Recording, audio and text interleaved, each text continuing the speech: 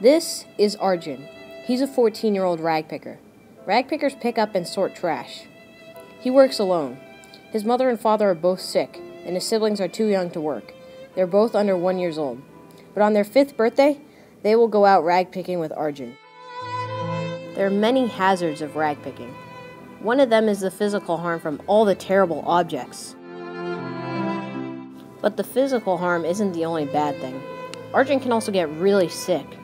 A couple weeks ago, Arjun started coughing really badly. He still does. To bring in enough money, he has to collect a ton of trash, and it gets really heavy. And anyway, he has to make sure he picks up trash in the right place. There are other rag picking groups out there that are very territorial.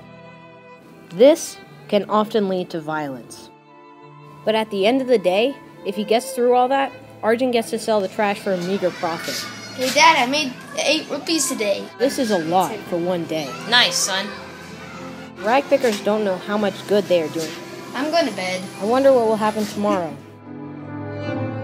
Today, Arjun's going to one of the biggest landfills in India.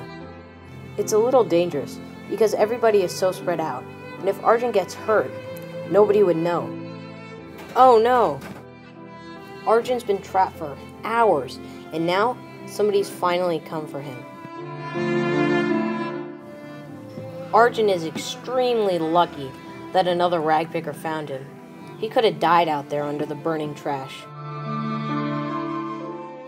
After that incident, Arjun realized that he wanted to have a better job, one that paid better.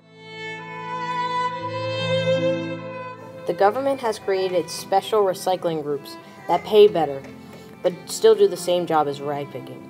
Arjun knows that he will never go to school, but he hopes that his siblings might. The rag picker in this film is fake, but the details are true. It is our hope that after watching this film, you will want to make a difference in these people's lives. They have really awful lives, and they do all this for less than $4 a month. Please spread awareness about this issue, and maybe we can make a difference and help these poor people.